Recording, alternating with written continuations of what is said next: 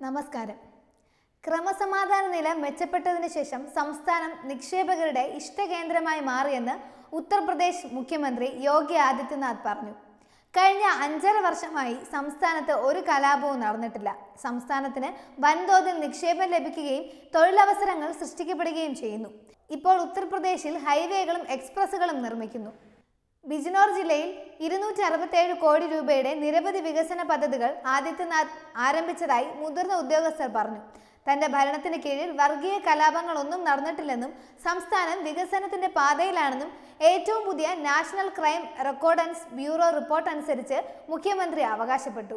ഒരു ജില്ല ഒരു മെഡിക്കൽ കോളേജ് എന്ന ലക്ഷ്യം കൈവരിക്കാൻ ഉത്തർപ്രദേശ് അക്ഷീണം പ്രയത്നിക്കുകയാണെന്നും അദ്ദേഹം പറഞ്ഞു. സംസ്ഥാന സർക്കാർ കുറ്റകൃത്യങ്ങൾക്കെതിരെ സീറോ ടോളറൻസ് നയമാണ് പിന്തുടരുന്നത്. വ്യാപാരികളുടെയും സംരംഭകരുടെയും സുരക്ഷയിൽ വീഴ്ച വരുത്താൻ തന്റെ സർക്കാർ അനുവദിക്കില്ലെന്നും യോഗി വ്യക്തമാക്കി.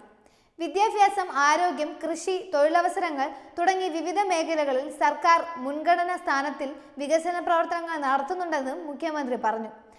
ആദിത്യനാഥ് മൊറാദാബാദ് ഡിവിഷനിൽ സന്ദർശനം നടത്തുകയും നിലവിലുള്ള വികസന പ്രവർത്തനങ്ങളെക്കുറിച്ച് ഉദ്യോഗസ്ഥരുമായി അവലോകന യോഗം നടത്തുകയും ചെയ്തു. മലിനീകരണ നിയന്ത്രണ ബോർഡിന്റെയും മറ്റ് വകുപ്പുകളുടെയും നിയന്ത്രണങ്ങൾ കാരണം രണ്ടായിരത്തി പതിനേഴ് വരെ എം എസ് എം ഇ വികസനവുമായി ബന്ധപ്പെട്ട ആളുകൾ നിരാശയിലായിരുന്നു.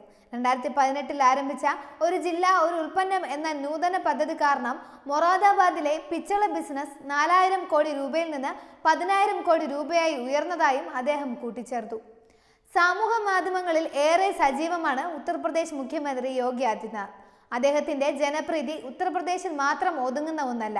രാജ്യമൊട്ടാകെ യോഗി ആദിത്യനാഥ് എന്ന കരുത്തനായ രാഷ്ട്രീയക്കാരനും മുഖ്യമന്ത്രിക്കും ആരാധകരേറെയാണ്.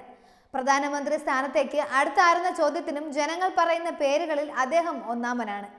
രാജ്യത്തിന്റെ വിവിധ ഭാഗങ്ങളിൽ നിന്നുള്ള ആരാധകർ സമൂഹ മാധ്യമങ്ങളിലൂടെ യോഗി ആദിത്യനാഥിനെ നിരന്തരം പിന്തുടരുന്നു.